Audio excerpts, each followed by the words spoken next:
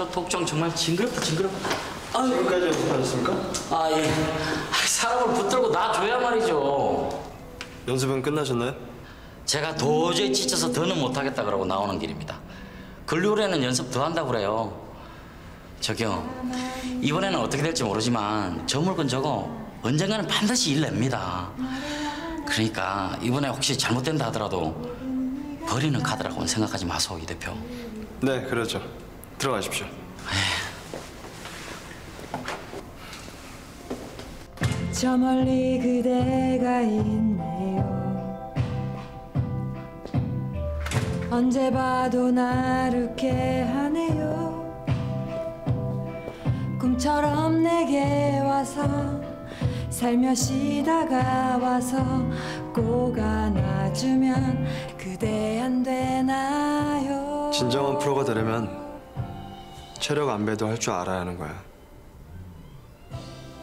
넌 꼭 보면 오늘만 살고 말해처럼 그러더라.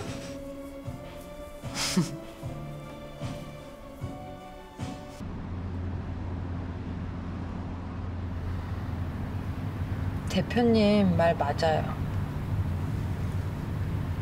매일매일 그랬어요. 오늘 하루만 더 살아내자. 내일은 생각도 하지 말자. 그냥 오늘 하루만 더 살자. 난 오늘도 내일도 별로 생각한 적 없이 살았다. 그냥 먼 훗날 그때는 이렇게 미친놈처럼 이악 물고 살진 않겠지. 그런 생각을 하면서 산 것 같다.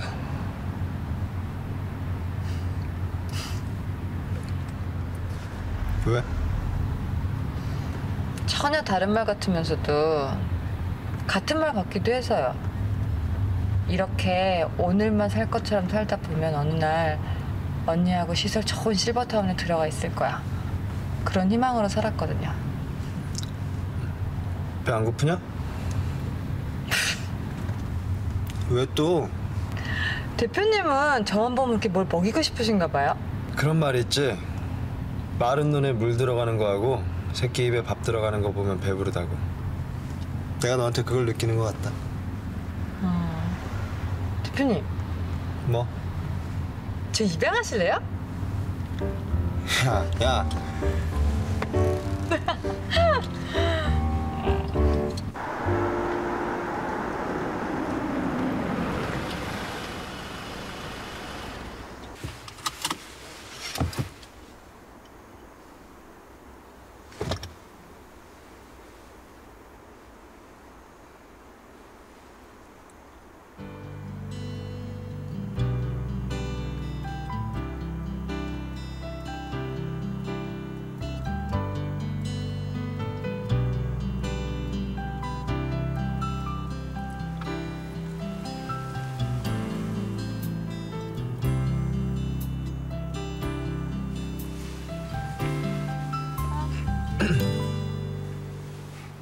야, 넌 무슨 여자애가 코까지 고면서 잠을 자냐?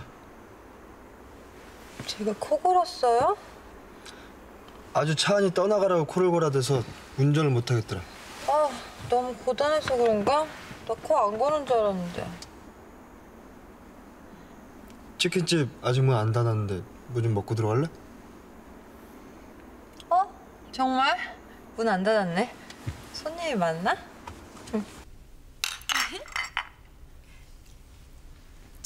두 분. 전 왠지 두 분이 이렇게 될 것 같았어요.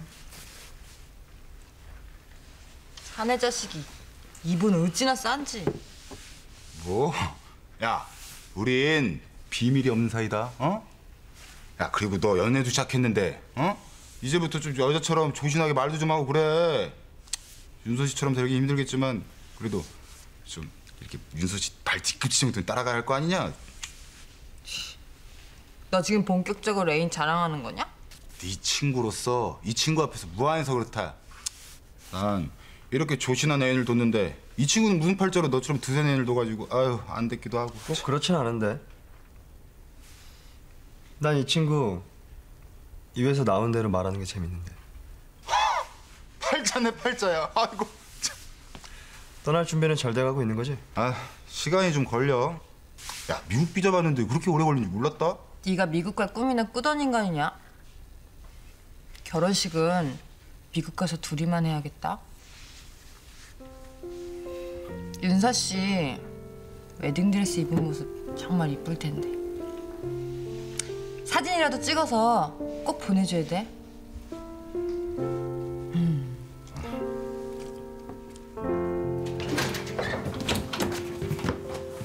아까까지 신나게 내 흉도 보고 그러더니 왜 그렇게 시무룩하냐? 윤서 씨 때문에 윤서 씨가 왜? 결혼식이라는 게 많은 사람들한테 축복도 받고 그래야 하는 거잖아. 나 같은 놈 안 만났으면 성대하게 결혼식 하면서 축복도 많이 받고 그랬을 텐데. 어딘가로 도망가서 둘이서만 해야 한다고 생각하니까 왠지 윤서 씨가 가여지고 그렇다. 그럼 여기서 하고 가. 미쳤냐? 왜? 뭐 하겠다고 마음만 먹으면 아주 방법이 없지도 않을 것 같은데. 그냥 집에 들어가라니까 왜 그래? 나 자고 가는 게 싫냐? 평소엔 이런 일 없는 사람이니까 그렇지. 나도 늙어서 그런지 나 하고 싶은 대로 하면서 살고 싶다. 당신 여기서 자고 가고 그러면 우리 강석이 당신 와이프한테 더 눈칫밥 먹게 될 거 뻔한데 그거 싫어. 그놈도 곧 결혼할 거니까 눈칫밥 먹을 날도 며칠 남지 않았어. 아휴, 나저 좀 씻고 자야겠다.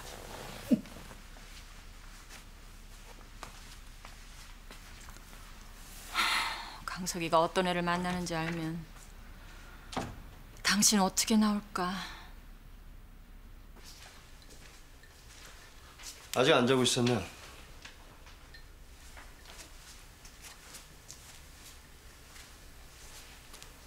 뭐할 말 있냐? 형이 그렇게까지 해야 되는 이유를 모르겠어요. 뭘? 블루 엔터테인먼트 대표와 만났다는 얘기 들었어요. 세상에 비밀이 없나 보구나. 거기 소속 가수가 뉴스타쇼에 출연한다는데 형이 영향을 끼친 건 전혀 없는 건가요? 형이 그러면 우리 형제 사이에 문제가 있다는 소문만 여기저기 퍼져나가는 건데 꼭 그러고 싶어요? 지금 왜 이렇게 치사하게 구냐고 따지는 거야? 형이 이렇게까지 해야 되는 이유를 모르겠어서 그래요. 몰라? 내 걸 하나하나 뺏어내고 있는 놈이 그거 몰라? 나도 너란 놈에 대해서 모르는 게 있단 말이야. 더블샵에 왜 이렇게 애착을 갖는 거냐?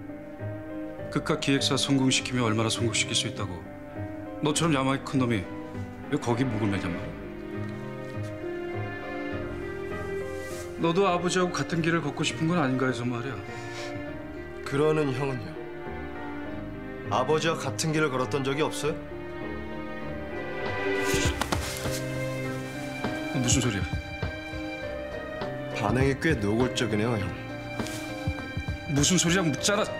왠지 날 방해하고 싶은 다른 이유가 있을지도 모른다는 생각이 들어서요.